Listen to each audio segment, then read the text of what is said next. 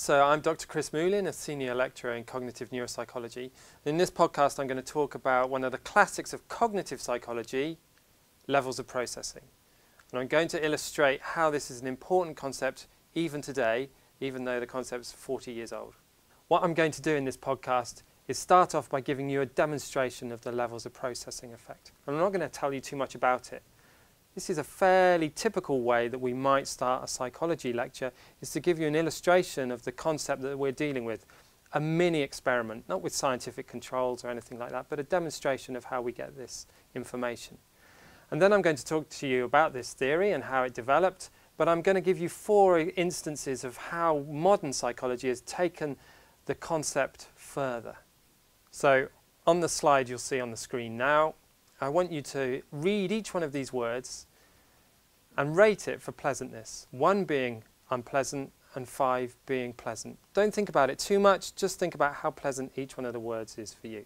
You can pause this slide while you do it. You might like to jot down on a piece of paper the pleasantness ratings, but don't, whatever you do, write down what the words are. Okay, now I'm going to give you a second slide with a second set of words. And in this case, I want you again to read the word and count the number of vowels in each word. And again, you might like to write down what the number of vowels are, or you might just want to think how many the vowels there are and move on to the next word. But again, whatever you do, don't write down the word. Okay, so now I'm going to ask you to complete these mental arithmetic sums.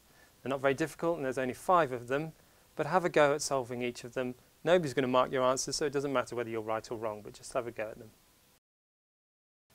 Okay, now what we're going to do is a surprise test. So I want you to write down as many of the words as you can remember from either of the two lists that I gave you.